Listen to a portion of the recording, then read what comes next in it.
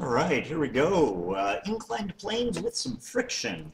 All right, so honestly, once again, as has been the case most of this chapter, not a ton that's new here. Uh, we're basically just going to do harder versions of the same problems. All right, so here we go. Um, so uh, here we've got a box that is sliding at six and a half meters a second, and it begins going up a ramp that is inclined at 25 degrees. And as usual, that's you know off of the horizontal, of the horizontal. All right, uh, coefficients, coefficients of static and kinetic friction are 0.5 and 0.4. Question A wants to know how far the box will slide up the ramp before it stops.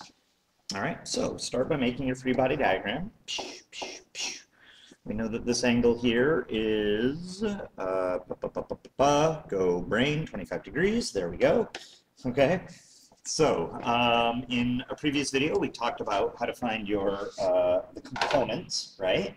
So what we're going to have here is we're going to have a perpendicular component of gravity that is going to equal to the weight, so negative mg times what? The cosine of 25 degrees.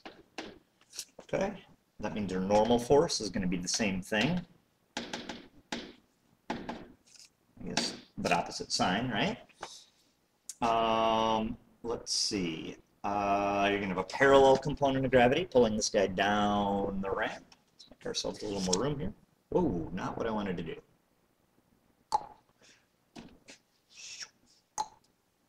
There we go.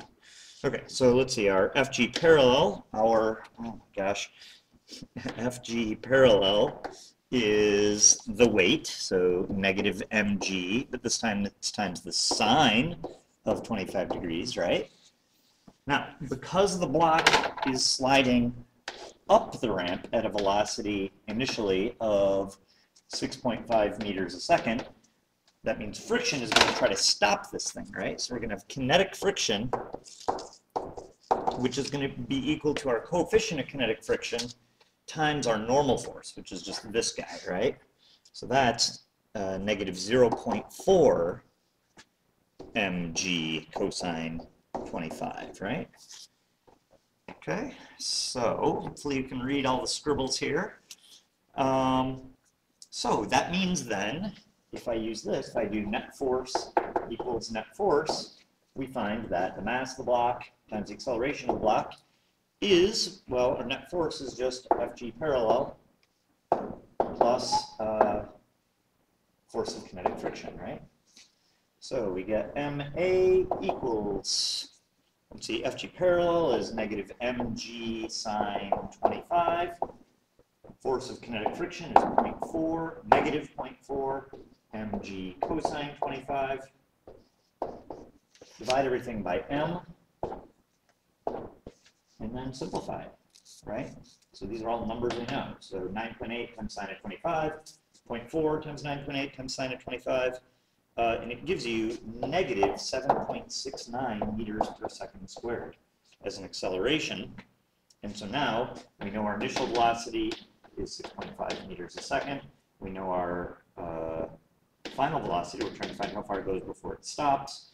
So we can find our displacement by using our vf squared minus vi squared equation. And if you do that, you get 2.75 meters. Okay. So I think the only thing that was new here was that we didn't know the mass. Um, and so we had to write everything in terms of mass and then cancel it all out, right? Okay. So question B wants to know if it'll slide back down. Hmm. All right. If so, how long will it take? If not, how much steeper would the ramp have to be to make it slide down? So let's see. So where we're at now is this. We've got our ramp. We've got our, this is our part B. So we've got FG parallel is negative mg cosine theta. Nope, sine theta, sorry, my bad.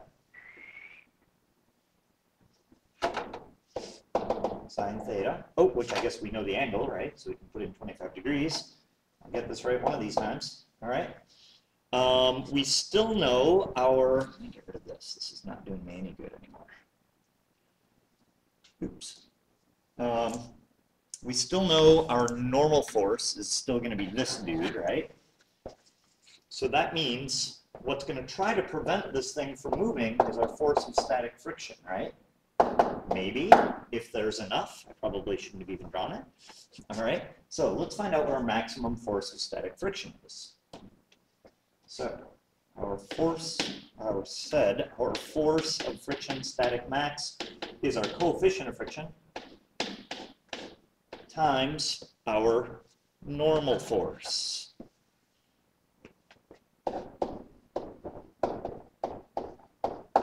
So if you simplify this, ooh, we got to actually do some, uh, a little bit of math here, I guess.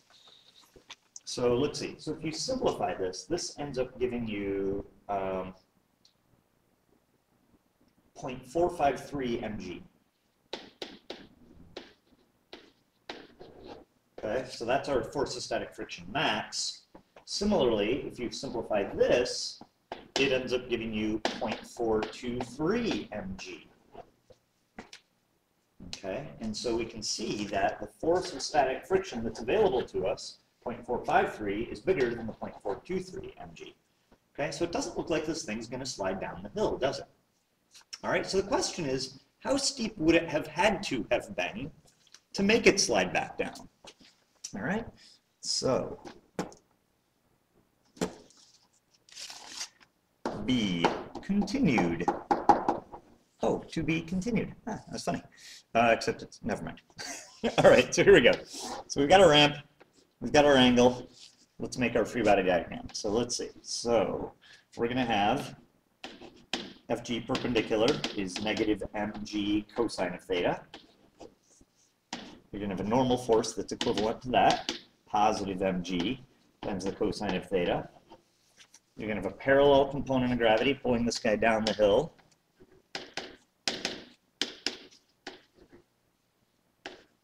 That depends on the sine of the angle, right?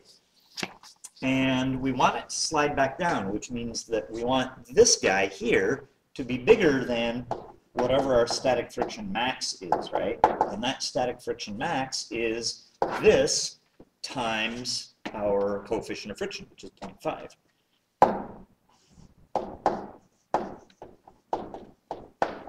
Right?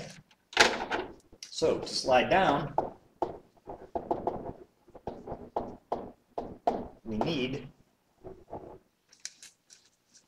the magnitude of this force to be bigger than the magnitude of this force, right? So we need, I'm going to write this, the magnitude of FG parallel to be greater than the magnitude of our static friction max. Okay, if you've never seen this notation, these absolute value bars, when you're talking about a vector, it just means the magnitude of the vector. Okay. Um, equivalently, the other way to do it is, I guess, technically, this is the vector, this is the magnitude of the vector. So,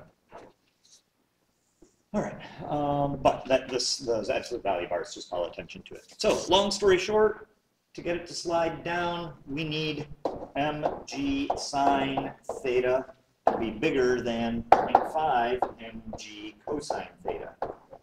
So, dividing both sides by mg, make sure that I haven't made a wrong turn here. Oh, good. So divide both sides by mg. So now I've got sine of theta is greater than 0.5 cosine theta. Let's divide both sides by cosine theta. Now I've got sine of theta over cosine of theta. This is a really common trick, you guys, is greater than 0.5. But notice, sine of theta over cosine theta is tangent theta and that is greater than 0.5. So now I just take the inverse tangent of both sides and discover that tangent, or that the angle, excuse me, is 26.6 degrees. All right, so once again, as was the case with forces at weird angles, if you've got surfaces at weird angles, you very frequently need to write the values of your forces in kind of generic terms using variables and then just learn to manipulate those variables. All right, so that is that.